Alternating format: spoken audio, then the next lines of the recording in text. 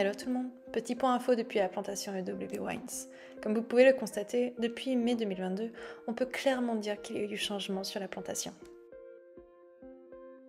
Comme vous pouvez le constater, après la mise en terre, la nature a repris ses droits, et bourgeon après bourgeon, feuille après feuille, le cycle végétatif de la vigne a recommencé.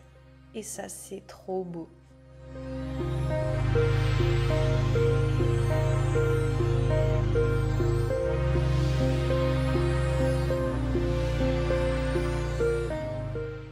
L'avis général d'anciens collègues avec qui je partage beaucoup sur cette plantation, ils sont impressionnés de voir à quel point la végétation s'est développée en même pas un an de plantation.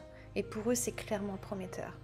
Il me tarde réellement de voir la suite. Maintenant, le prochain rendez-vous important, ce sera la taille. Alors à très vite